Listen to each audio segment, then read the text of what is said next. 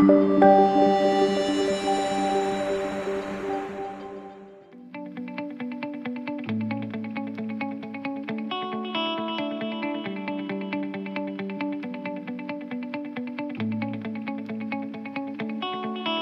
everyone. I'm Pragati. I welcome you all to the third episode of In Conversation with SCMHRDians. Today, we have with us Pooja Mohite, who interned with Infraline Energy and also did live project with KPMG India, and Rohit, who interned with EY. They are the students from Infrastructure Development and Management Specialization, which is a niche course offered at SCMHRD. So let's hear from them. Hi, Pooja. Hello, Rohit. How are you guys doing? Hi, Pragati. I'm good. I'm doing good as well. Great. So my first question is for you, Pooja. What is infrastructure development and management, and how's your course designed at SCMHRD?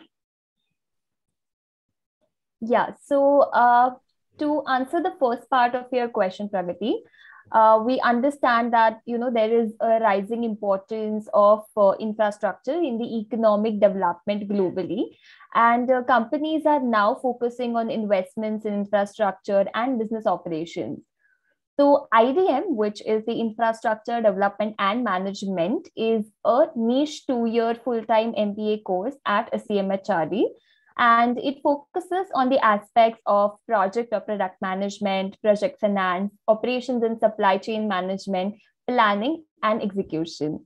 Now, uh, this focus lies across different sectors, including energy, transportation, urban infra, and IT too.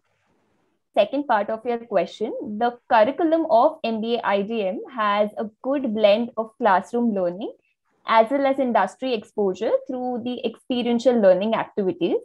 We have diversity of engineers, architects, urban planners, and many more who are pursuing this course. It develops these skills and capabilities which trains you well to step into your professional career. It is nice to know that you get holistic exposure at SCMHRD through this niche course. So, Rohit, how has it been interning with EY? Can you please share your experience? I would say it was immersive, which helped me live the life of a consultant in a condensed form through the versatility and complexity of the riveting projects that I got to be a part of, despite the limitations posed by the pandemic. Uh, I was involved in multiple projects throughout my stint, and the responsibilities were shared with the right amount of guidance, which helped me learn and grow. I was always cherish the exposure and experience that I got from EY. What about you, Pooja? Can you please share your experience as well? Yeah, sure. So, uh, my internship experience with Infraline Energy and KPMG India was really enriching. I was working with the power and renewables domain, and it provided me an opportunity to not only implement my learnings of uh, project management and strategic business management, but also understand and learn the industry best practices in consulting. It also provided me an overview of the energy sector and the guidance provided by the team.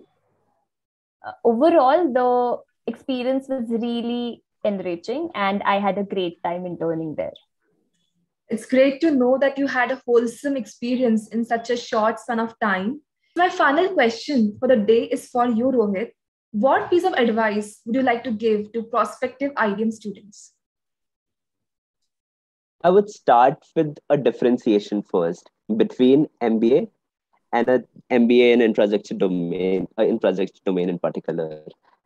I think an MBA in a domain like this uh, comes from the decision making, which is extremely non-erratic, and every decision that is taken is non-arbitrary.